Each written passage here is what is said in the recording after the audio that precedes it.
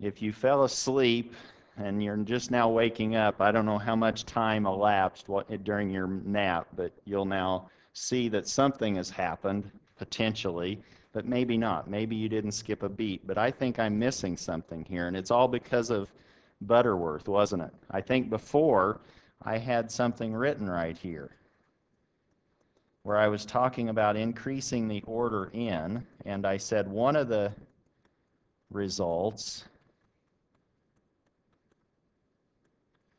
would be a flatter passband, and the other characteristic of increasing the filter order in is to have a sharper transition into the stop band.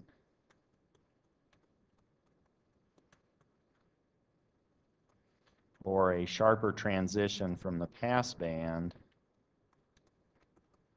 to the stop band.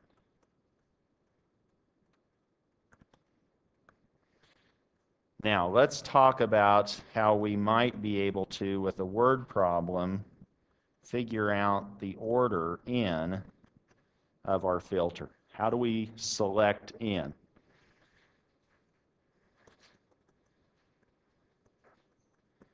And if you have the benefit of seeing the blackboard behind me, this is one of the first times that the blackboard actually has something relevant to this class on it. Typically, we'll walk in and you'll have words there that I should erase before we start class, typically, but here we have a signal. Let's say it's made up of two sinusoids, cosine omega 1t, cosine omega sub 2t. The first frequency, omega sub 1, let's say this is the frequency to pass, or that we want to keep. And omega sub 2 is the frequency that we want to stop, or you might hear me say, I want to attenuate, because we can't, with a sort of an on-off result, stop it completely, typically. We can only make it a little bit less, or we can cause it to be attenuated. Here's the word problem, or part of it, or at least the start of that. Suppose we want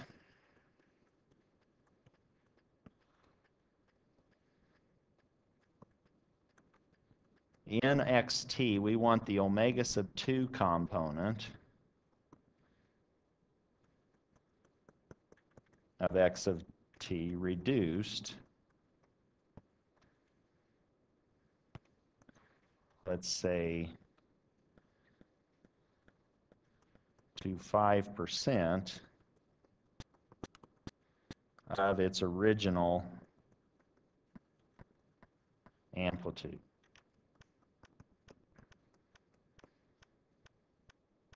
And I'm not making this too messy or muddy by, I'm just making the original amplitude 1. So that now if we want a 5% reduction, we really are effectively saying multiply that second component by 0.05 in absolute sense. And keep the first component, cosine omega 1t, unaltered or as unaltered as possible. Yes?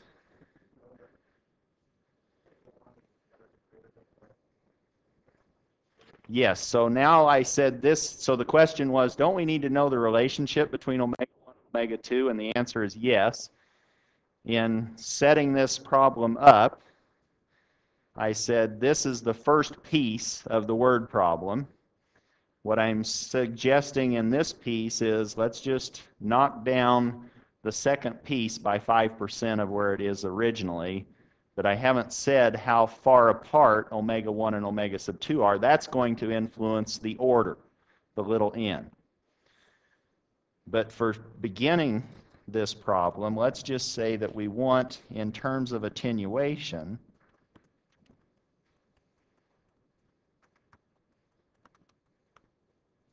I'm wanting to, you to start getting comfortable with many of these different ways of measuring attenuation. A 5% reduction says, oh, just in absolute sense or a linear sense, multiply that cosine factor by 0.05. or 26 dB, and let's see where that comes from. If we now have 20 times the log of 0.05, this is now the scaling that we are looking for. This is that 5% scaling that we wanted to accomplish. In terms of dB, if you're trying to build up a little bit better understanding of what dBs represent or how much different ones, if you didn't know that 5% represented 26 dB attenuation, where is that coming from? That's what I want to provide you with now. And you can think of this many different ways. One way might be, well, I know the log of powers of 10, and I know the log of integer values. Maybe I have that on my crib sheet. The log of 1, 0. The log of 2, log of 3. You write that down on your crib sheet, and then you know what it is, right? So in this case, what's the log of a product? Well, that's the same as the sum of those logs.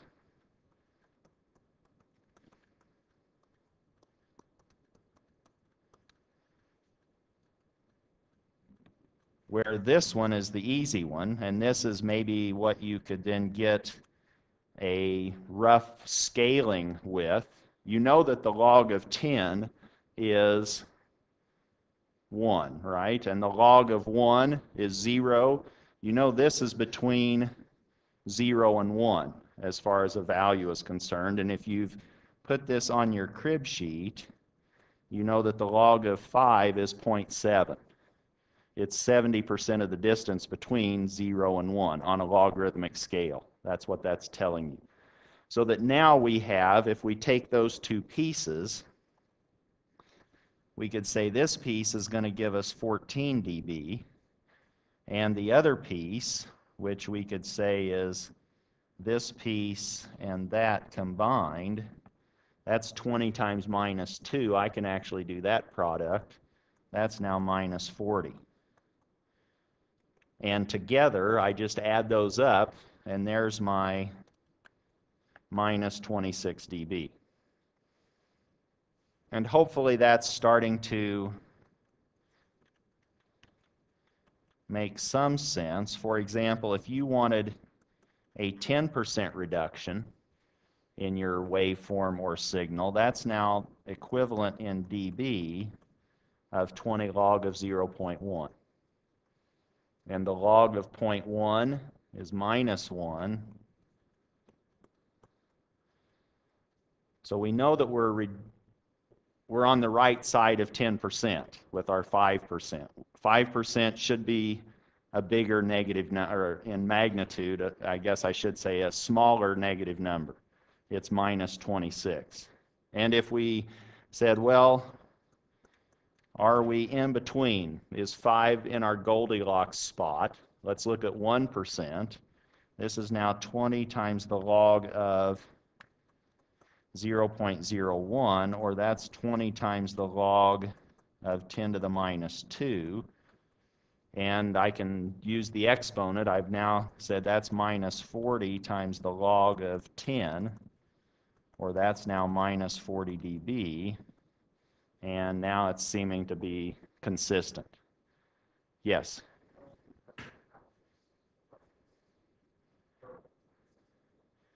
So you could think of a half being 6 dB down, in a sense. And then you have that added on to the, basically the power of 10 that you were interested in, which gives you minus 20.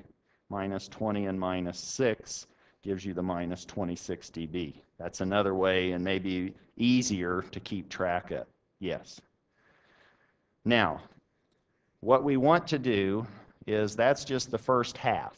We haven't said anything about omega sub 1. We want to find the filter order, and we say what low pass filter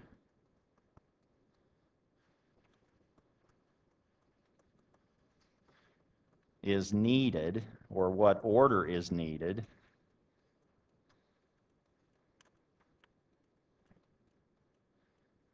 if a reduction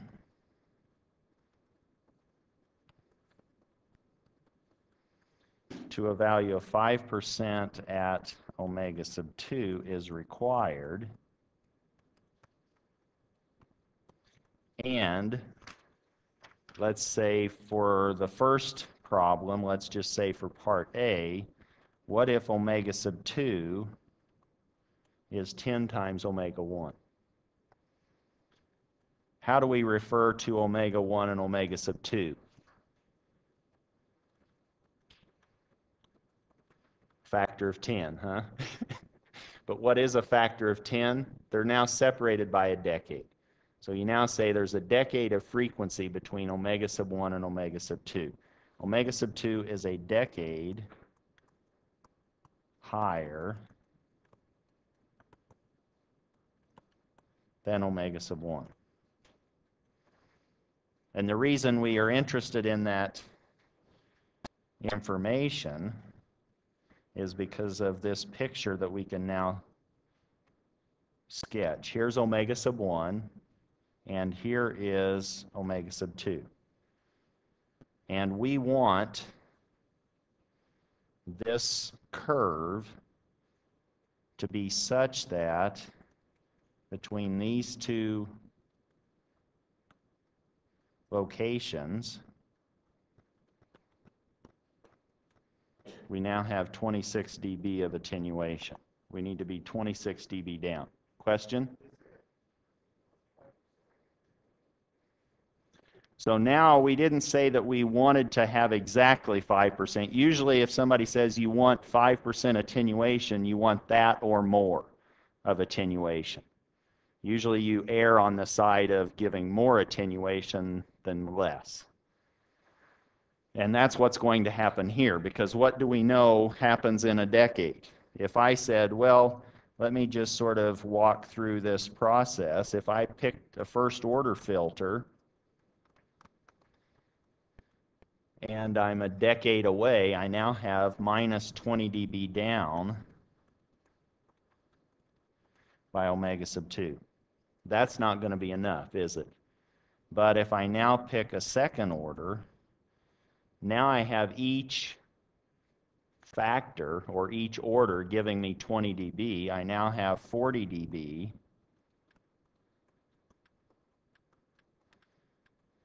That's going to be less than minus 26, and that's what I have to live with. I have to over design because I don't have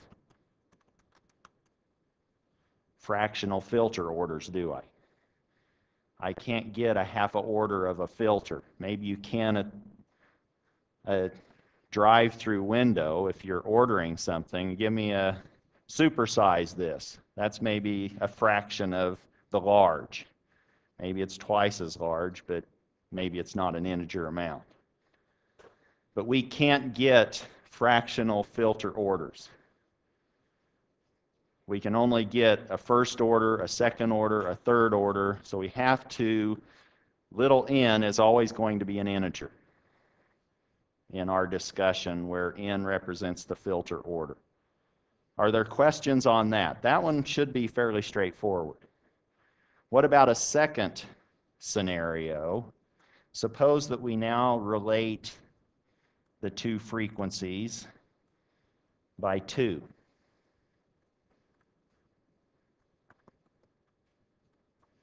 Now a factor of 2 represents an octave, doesn't it?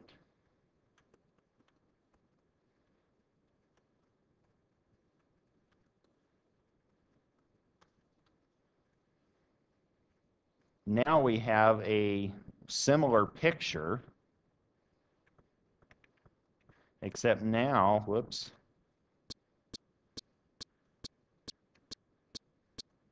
omega 1 and omega sub 2 are not as far apart meaning if we still need the same amount of attenuation, we want this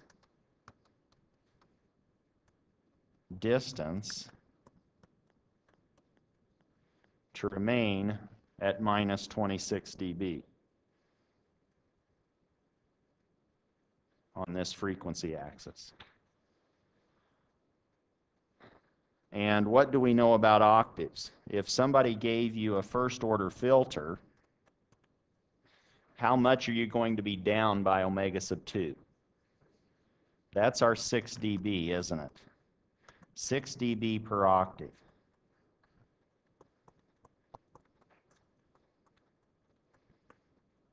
And we could expect that shouldn't be enough. We should be anticipating something bigger than 2, probably, or at least 2. Somebody's saying 5. Do I have a 6? Now we're in an auction format. So what do we have? Now you want n times minus 6. You get minus 6 dB for every order n, and you need that to be less than minus 26. We can now divide by minus 6, which says that n, the inequality needs to flip. We now say n is greater than minus 26 over 6. And that is now a little bit bigger than 4. And again, we can't have a fractional filter order. So we have to err on the side of an increased value of n, and now we have a fifth order filter. And you would probably build that with two quadratic sections and one real section to build that denominator polynomial for your fifth order filter. And if you were building up a Butterworth, you now know how those are arranged around your unit circle. What's the distance between those poles, angular spacing in those poles for a fifth order filter?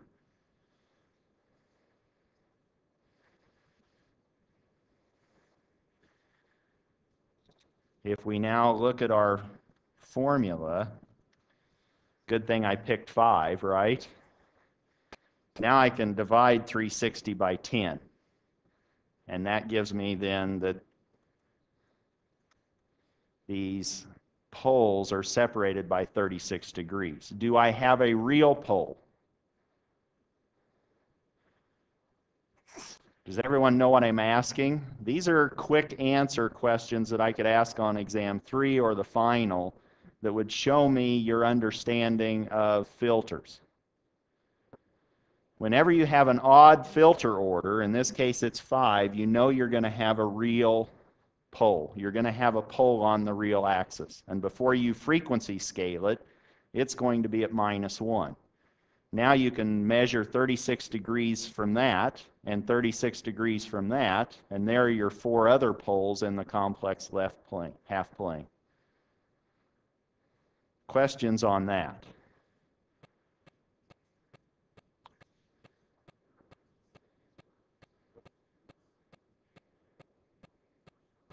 I'm sorry?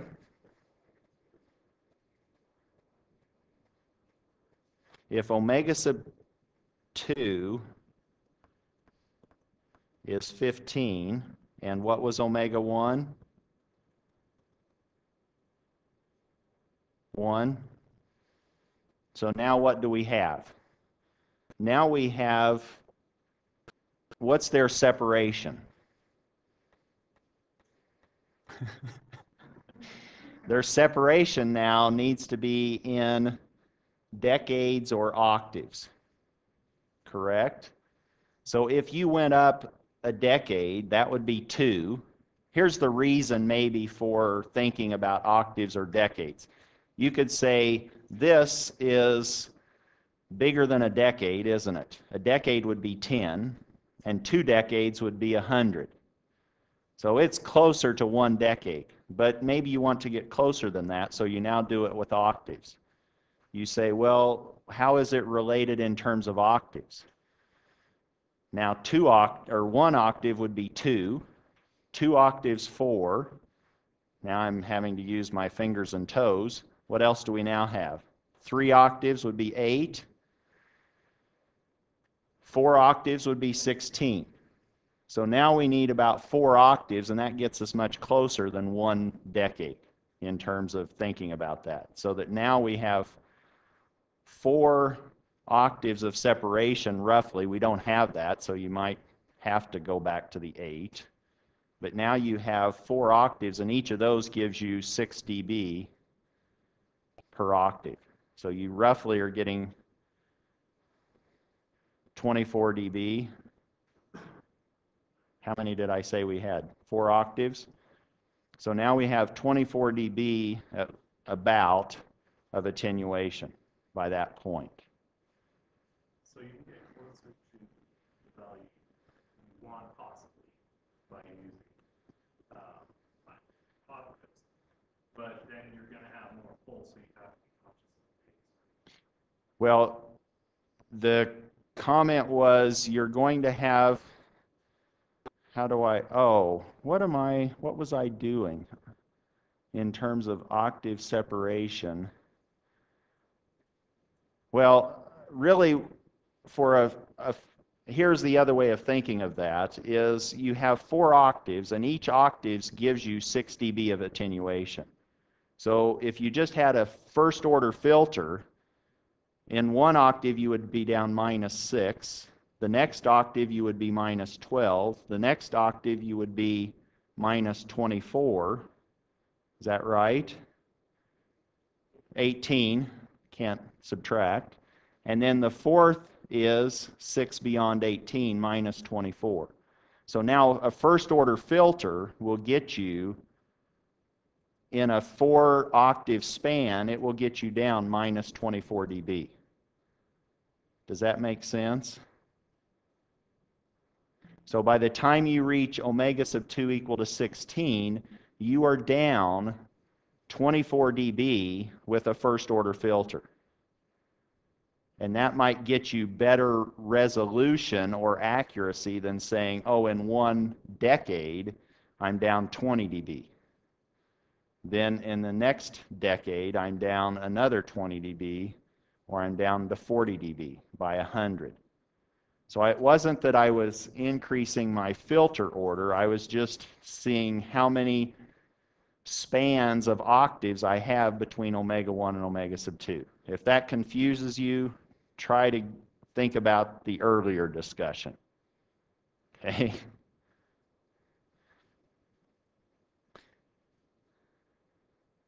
So, what another question that you might be asked on the homework is the following. Let's say that we now have here's our omega axis and maybe somebody says here is what we want to pass, and maybe we want to be so far down, and maybe this is omega sub 2 and this is omega sub 1. Meaning you may want your filter magnitude response to be such that it does something like that, that it falls outside of these constraint regions on a frequency axis. Now, what you're going to maybe be asked on a homework is if you, so this would, let's say, be your break frequency.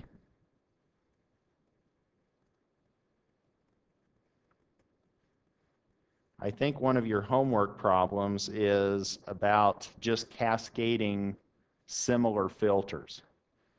Meaning, if I wanted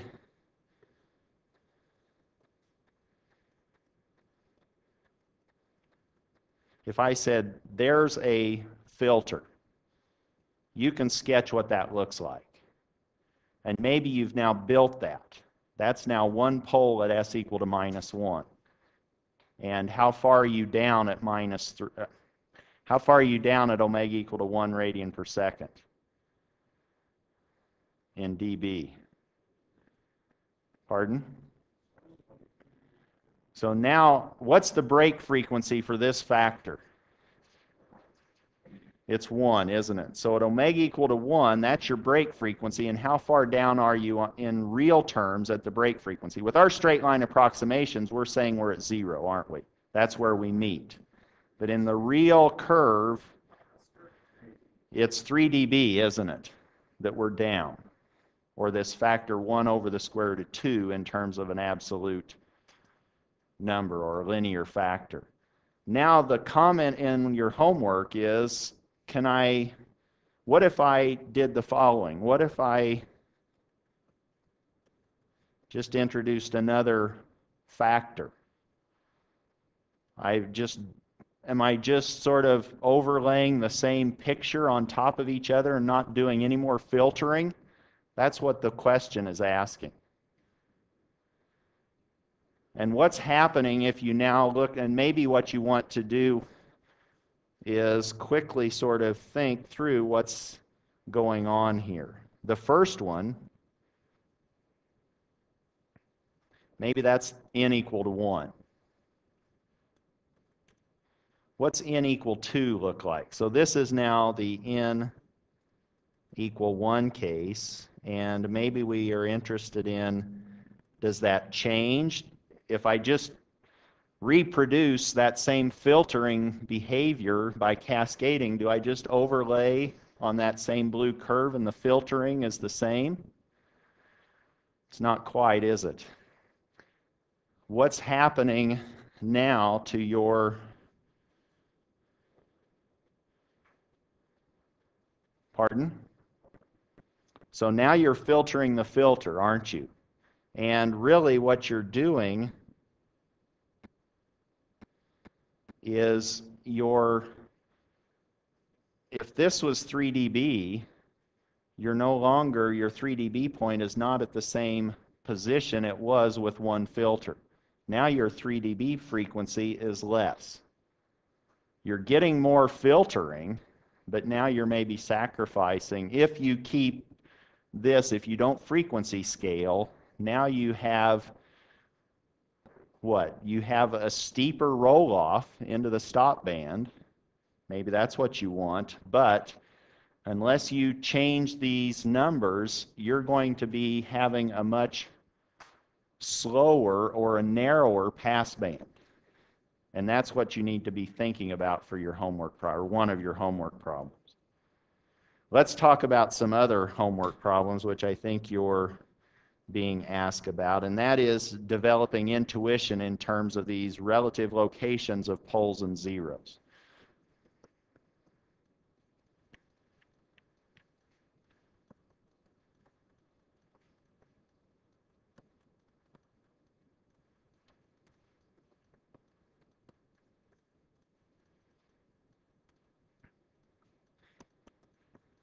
To do that, let's just think of a particular example where the particular example is a bandpass filter.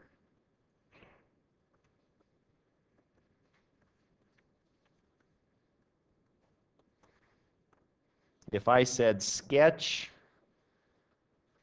the magnitude behavior or response of a bandpass filter, what sort of three lines could you draw to capture that behavior?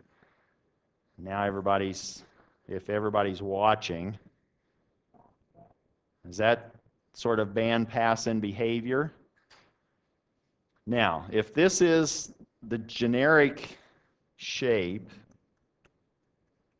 of the magnitude response in dB of a filter, of a band pass, what have we talked about these frequencies here in the middle section are the frequencies we, we are favoring, aren't we? So what does that mean relative to what we've learned so far?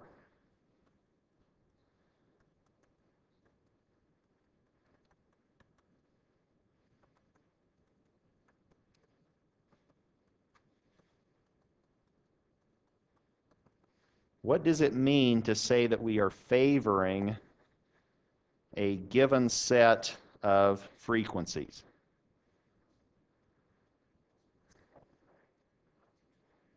Or how do we how do we put now we want to talk about poles and zeros. Does this tell us anything if I now labeled this axis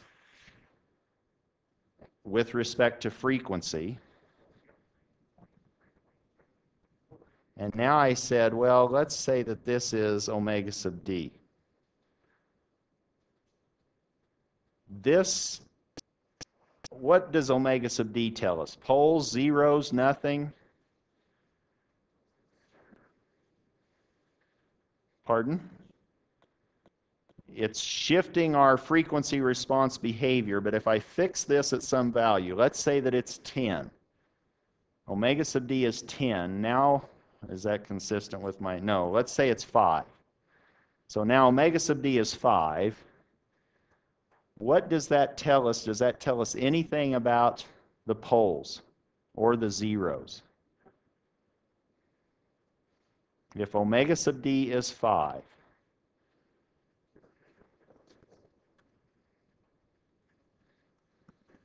omega sub d is actually our damped frequency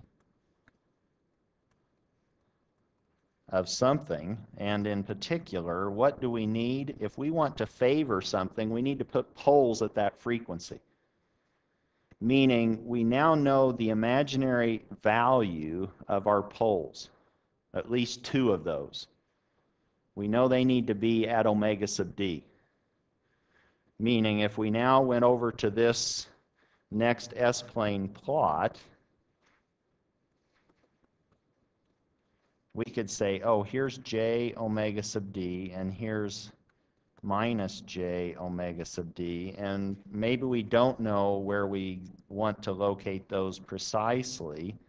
Maybe this distance, right now we will just call a, but we do know that value. That value is j5 and minus j5. What we have to figure out is maybe where A is. Now, that gives us an emphasis on these frequencies near omega sub d. What can we say about this piece of a magnitude Bode plot? What do we think is happening, poles and zeros, if we have this straight line coming up from low frequencies? What does that tell us? What gives us a positive slope in magnitude? Zeros. Those are upstairs, aren't they? They give us the positive slope. And now, if this is never breaking, what does that tell us about? So this is associated with zeros, this upward slope, but do we know anything about their location? It's at the origin, isn't it? If it's never going to break and go up, it's always going down. This now tells us that this particular piece corresponds to a zero or zeros at the origin. And if we're just going to have a second order filter, maybe we just want one zero. So we have one zero.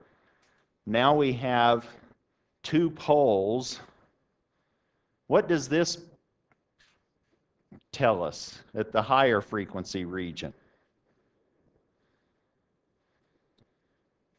If I said, what produces a negative slope at high frequencies, what would you tell me about the pole and zero relationship? Pardon? You have poles further away but now, is there any relationship between the quantity of poles or the quantity of zeros?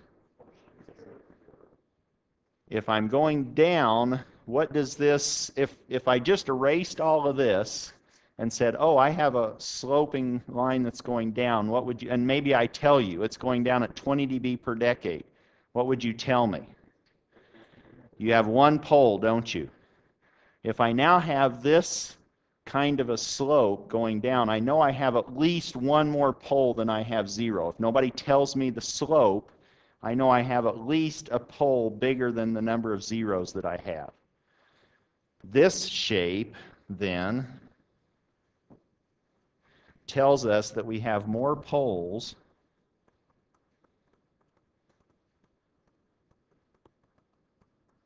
than zeros. And we have a fancy phrase for that, don't we? We could say that our transfer function was strictly proper, meaning we have at least one more pole than we have zeros.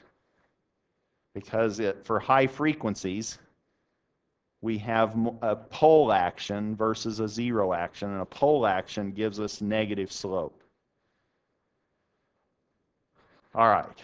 Now, what did we say? We said the center frequency we wanted to emphasize, and that gave us this picture of two poles. Then we said we needed at least one zero at the origin. Now, will this picture give us all that we need? Will this give us a bandpass filter? What's this give us?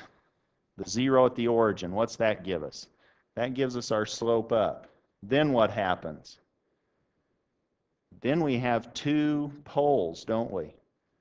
So that's going to eventually give us more poles than zeros. So yes, this is all we need. If we just wanted a simple bandpass filter, we could say we need two poles and a zero at the origin. And that will give us our bandpass filter. The flat region may not be very wide, but that's not what we were worried about so much. We wanted to emphasize maybe that central region around omega sub d. So let's now build a bandpass filter just out of this intuitive discussion. What do we know about our poles? We can create the pole factors, can't we? We have two pole factors. We have pole 1, let's say that's at minus a plus j5, which is the pole in quadrant 2. We have s sub 2, which is minus a minus j5. That's corresponding to the pole in quadrant 3. And now we can build this up. We can now take s minus s1 times s minus s2, and that's going to be our denominator expression. Because we want the denominator to vanish whenever s is equal to s1 or whenever s is equal to s2, and that will happen with this structure. And now we can plug in, s is our variable, but we can now plug in the particular values for s sub 1, and we have now s plus a minus j5, and we have s plus a plus j5. Or the way that I like to play with it is let me just say that I now have s plus a squared plus 5 squared. And that's now my denominator factor or expression, and it's quadratic, it's second order. What do I know about my bandpass filter? I know that I had a zero at the origin, and I have the denominator that I just derived. And maybe I don't know yet what my gain needs to be. Let me put a gamma in there and I'll need to find what that gamma is. I have two unknowns right now in this bandpass filter. How do I maybe start eliminating some of those as unknowns? What if I said, you know what? I kind of like that Butterworth pattern, the Butterworth shape. If I want a Butterworth shape to these to this frequency response, what does that give me? What does that tell me in this parameterized form for h sub 1?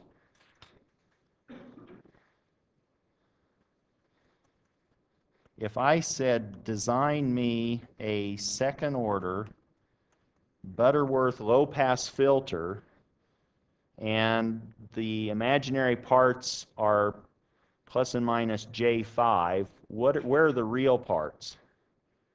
What do I know about a Butterworth that's second order? Do I have a real pole? Second order is even, so I don't. What's the angular separation between those poles? 360 divided by 2 times 2. 90 degrees. So now I have a 90 degree separation between these two poles in the left half plane. And I need to split that 90 degrees equally across that real axis. My angle is now 45 degrees relative to the negative real axis. And if my imaginary part is 5, my real part has to be 5 in magnitude. So if I want a Butterworth pole locations or pattern in this, let's say, bandpass filter that we're designing, then that's telling me what I can allow A to equal.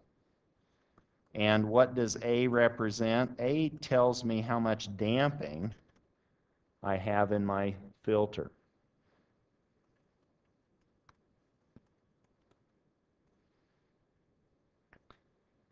That gets rid of one of those unknowns. What does gamma allow me to do?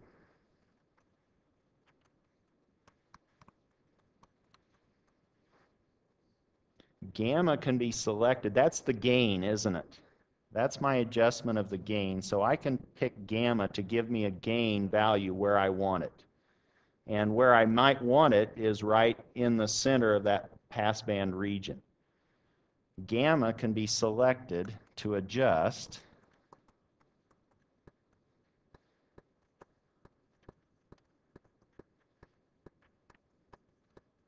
the gain of the filter.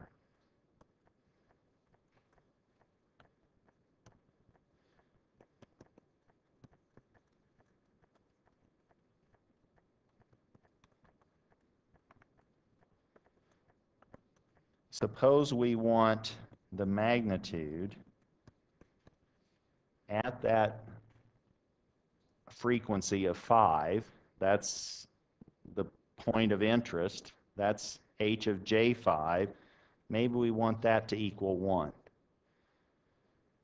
We want frequencies at 5 to be passed or scaled by 1 at 5 radians per second.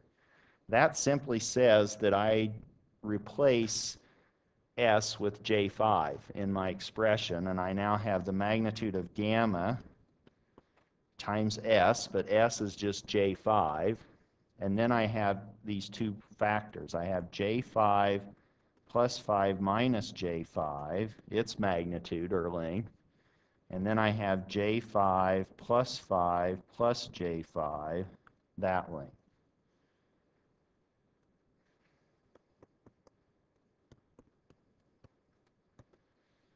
Where h of j5 is now, what's the magnitude of j5 gamma? You could put that on your shirt, couldn't you? j5 gamma. And you could say, yeah, that's the numerator of a bandpass filter. People would look at you like you were crazy, huh? But you would know what they were talking about. So now you have j5. What's the magnitude of j5 gamma? 5 gamma. The J has a magnitude of 1, doesn't it? So that's easy to find. Then the J5 minus J5 cancel, and I just have the magnitude of 5. And then the second term in the denominator, I have 5 plus J10. Those two 5's cancel, and now I have 5 over the hypotenuse of a right triangle with sides of 5 and 10.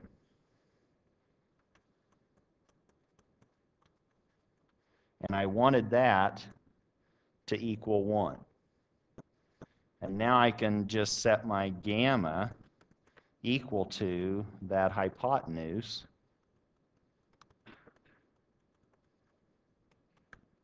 which is almost the square root of 121, which is 11. So this is a little bit more than 11. And now we've designed a bandpass filter with Butterworth pole pattern. H sub 1 of S is now 11.18 S over S plus 5 squared plus 5 squared. What's the phase of this frequency, or of this transfer function at high frequencies? Another short answer question. It's So now at high frequencies, what do I have? Minus 90, right? I have basically something that looks like 1 over S. And a pole will give me 90 degrees downstairs. That's my minus 90. Let's look at the other three filter types. And I could ask, what's the phase at low frequencies?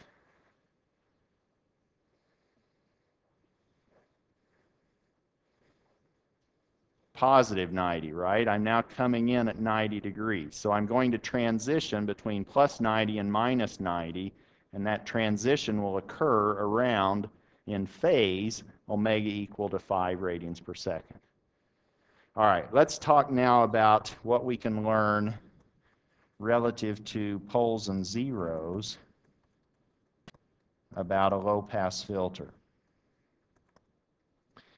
What do I know about the magnitude behavior of a low-pass filter? That's pretty easy, isn't it? That gives me that shape. What do I know this is doing? Whoops.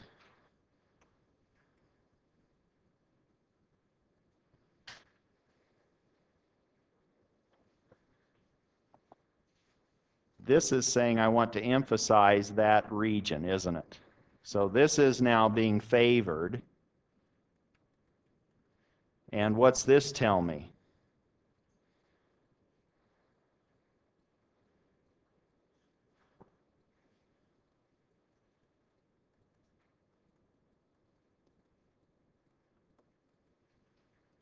It's telling you that you have more poles than zeros, isn't it? You have high frequency roll off.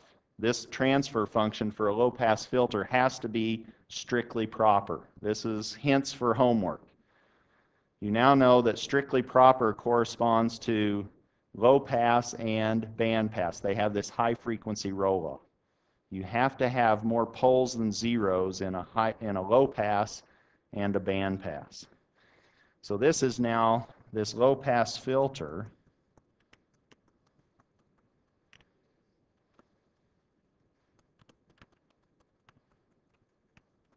is created by having a strictly proper transfer function. Let's now talk about a high pass.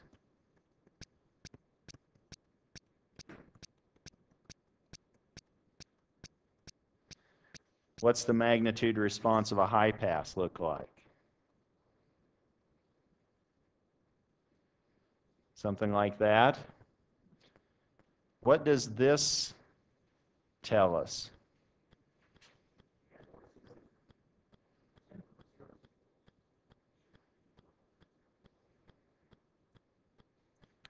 This portion tells us what? Now we're coming up from the bottom.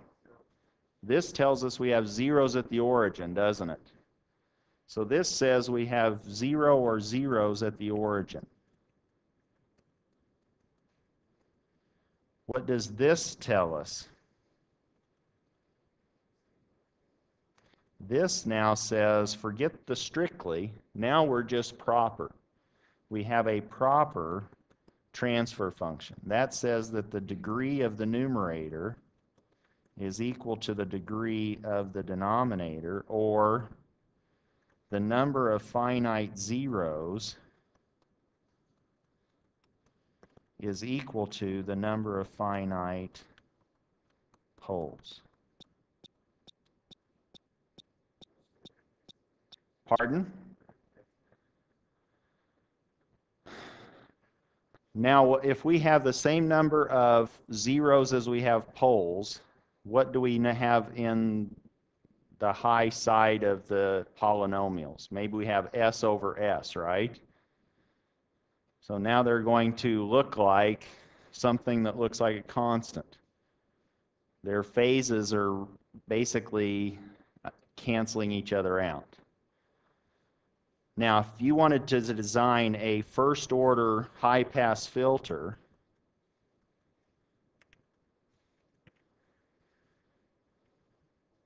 how would you build that up?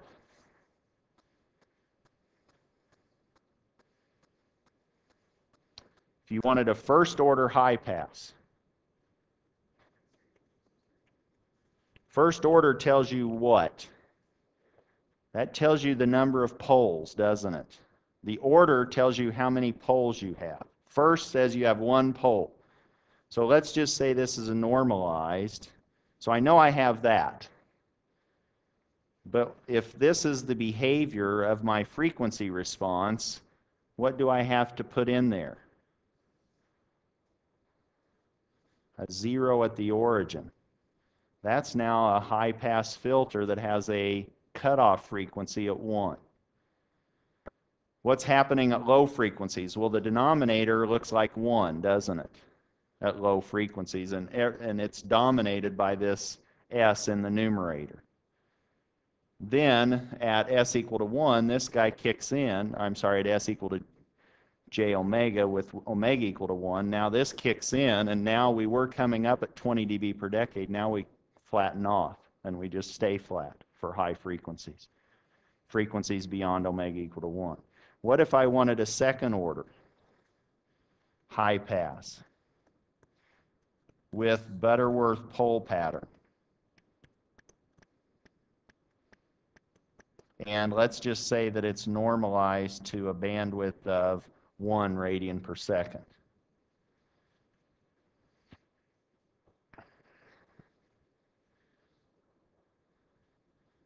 If it's second order, I know that I need an S squared downstairs, and I need the same number of poles as I have zeros, and I need zeros at the origin. So let me just put two zeros at the origin. That will give me my line coming up from the left, low frequencies up. And now I want to roll that off with complex poles, two of them, and I want those to have a distance away from the origin of 1, which is going to really give me that 1 there, 1 squared. But I now know that those are 45 degrees in the second quadrant and the third quadrant. I now have minus 1 over the square root of 2 or 2 over the square root of 2. Square root of 2 over 2, thank you. So I now have the square minus the square root of 2 over 2 plus and minus j square root of 2 over 2. So that this now ends up being what? That's now my second order. So my poles were here. This is now a second order high pass filter and boom, you've got it. And if you needed to change that to have a different cutoff frequency, you know how to make that happen. You know how to move those poles by frequency scaling.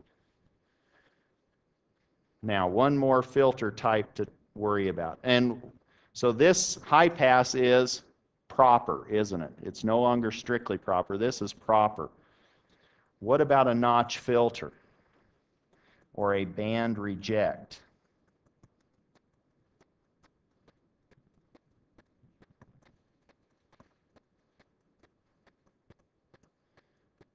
What does that magnitude response look like?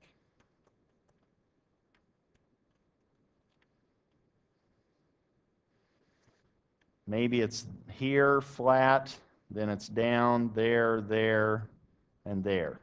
Very crude. But we can identify certain characteristics from this shape. What does this tell us on the high end? This tells us that this band reject is proper, a proper transfer function, which says that we the number of poles is equal to the number of zeros. What does this tell us? We don't have anything at the origin, do we? We have neither poles nor zeros at the origin. We actually have a bounded or a non-zero DC gain or a constant term. In the simplest case, what's going to give rise to this bending behavior beyond these two extreme conditions? You now know that you have at high frequencies, you're told that if I introduce poles, I have to introduce the same amount of zeros based on this high frequency behavior. And this is telling you that you don't have anything happening, poles or zeros, right at the origin.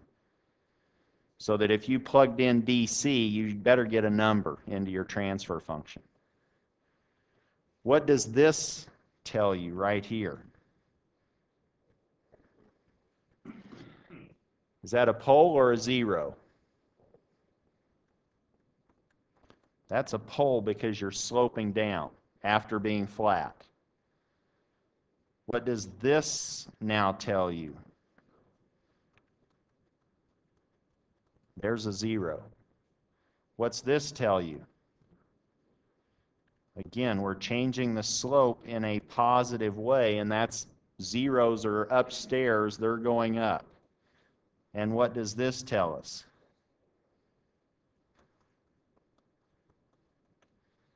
In the simplest case for a bandpass filter, then we could say that we have something, let's say band reject is now an S plus Z1 and an S plus Z2, S plus P1 and an S plus P sub 2, and maybe a gamma 1. And what's gamma 1 going to do? That'll just adjust our gain, isn't it? And what's gain adjustment do for us relative to that sketch? If I said increase the gain by 20 dB, now you just shift it up, don't you? So if you got lazy, you could just erase the scaling on your vertical axis and adjust it by 20 dB every place. And you wouldn't have to erase that entire curve, and that would be legitimate. You just shifted your curve up by 20 dB. Questions on filters. Now you know what the difference is, I hope, between strictly proper and proper, what that corresponds to in terms of high frequency behavior. Now to get us ready for the next set of material, and I'm going to run out of room because the machine wasn't working properly, was it? I don't think I did anything. I don't know. I need to figure out what's happening because that's getting frustrating. But what's the sinusoidal steady state output if x of t equaling 4 cosine of t minus 45 degrees plus 3 cosine of 4t and the system that you're applying that input to, h of s, has the following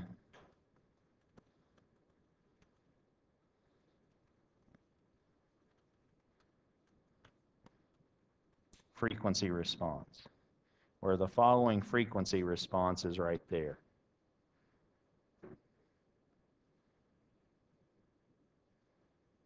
Now, is that clear enough? Can you see the frequencies and the scaling on the vertical side? What's important here? You had an x of t that was something. It was 4. Now I'm cheating. You'll have to commit this to memory, huh?